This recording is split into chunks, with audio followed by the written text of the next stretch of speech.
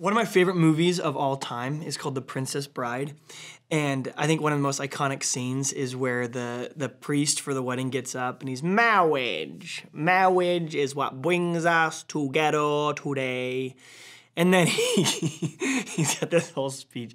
And there's this like powerful moment where he goes, Love, true love. And uh, that's kind of what we're talking about this week. We're talking about true love uh, we're calling it the road less traveled. The reason we're calling it that is if this is the road less traveled, then there's got to be a road more traveled. Uh, there's it goes back to this old poem where um, this man's walking and he says two paths diverged in a wood, and he basically knew one was safe and one was comfortable and where it was going to lead and that it required very little of him. It was effortless. And then he knew the other one was going to be effortful. It was going to be difficult. It was different. It was one that he hadn't traveled before. He hasn't gone that way before.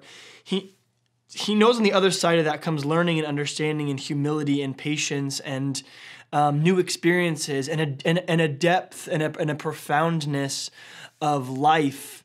But he also looks at it and it seems to be a little bit more murky, a little bit uh, he, he hesitates a little bit more going that direction. It's the road less traveled. I think it's by Robert Frost, but in that poem, I, I think that, that this is a really great title for this series because what it what it teaches us as people is that for the majority of the time when we choose love, or when we talk about love, I should say that, when we, when we talk about love in our culture, we're actually talking about the road more travel. The road more travel when, it, when we talk about love is um, it's kind of like childish love. It's kind of an immature, romantic, Hollywood-esque version of what love is what love is meant and supposed to be. And the Bible makes it clear. 1 John 4, 7, 8 tells us that God himself is love which means things that when we, when we treat one another in such a way that it emulates the way that God cares for and takes care of us, then we are in fact loving.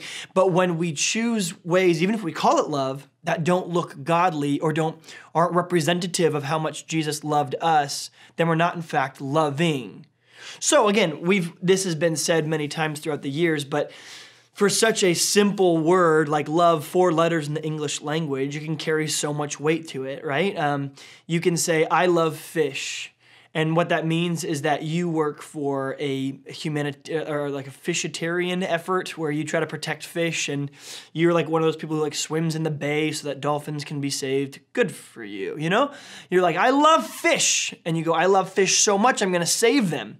And I can look across the table from you and I can go, I love fish too. I'll take the sea bass, please, with a side of butter and I love fish so much that I'm going to eat it. And so in the same way, what, what one person means by love is I'm gonna I'm gonna protect and take care of. The other one means it tastes delicious to me. And so love can be a really confusing thing.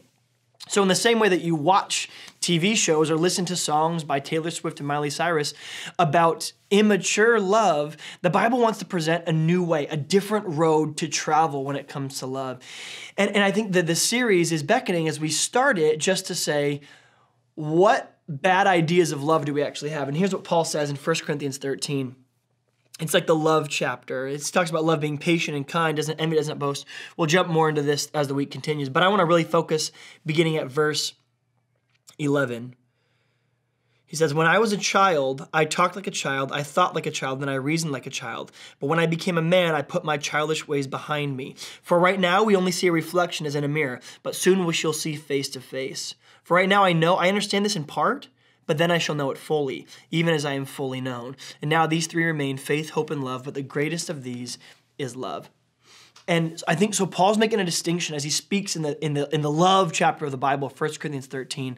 Love is patient, love is kind, does not envy, does not boast, is not proud, is not rude, is not self-seeking, is not easily angered, keeps no record of wrongs as he's doing this, he's almost presenting, he's saying, the reason I have to tell you this, the reason that this is so important to include in scripture is because love often doesn't look like that at all. And so Paul at the end, he almost resolves, he goes, but look, if you've got an immature ver- version of love or an immature view of love, he said, I was once a child, I thought like a child, but when I became a man, I had to put those childish ways behind me.